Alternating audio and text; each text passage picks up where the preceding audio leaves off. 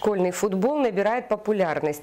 Этому во многом способствует реализация проекта «Мини-футбол в школу», который существует уже более 10 лет. В эти дни в Нерюнгре проходит третий этап соревнований. Подробнее в сюжете наших нерюнгринских коллег.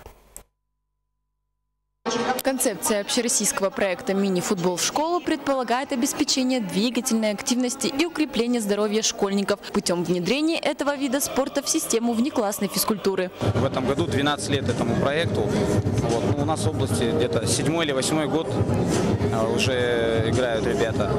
Вот. Э, ну, целом очень проект интересный, хороший. Единственное, что девочек у нас пока в области еще ни на, команда ни одной не образовалась школьной.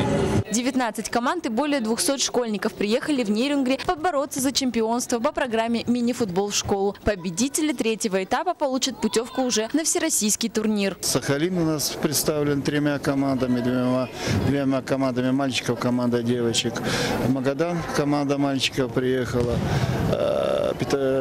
Камчатка прислала своих представителей, э, Хабаровский край, э, Приморье, Благовещенск. В принципе, очень представительный турнир у нас получился в этом году. С каждым годом количество участников растет. Сегодня футбол уже не является сугубо мужским видом спорта, поэтому в школах также создаются женские команды. Школьникам из спортивных школ и профессионалам участие принимать нельзя, поэтому борьба за мяч на поле проходит на равных. По регламенту запрещено им играть.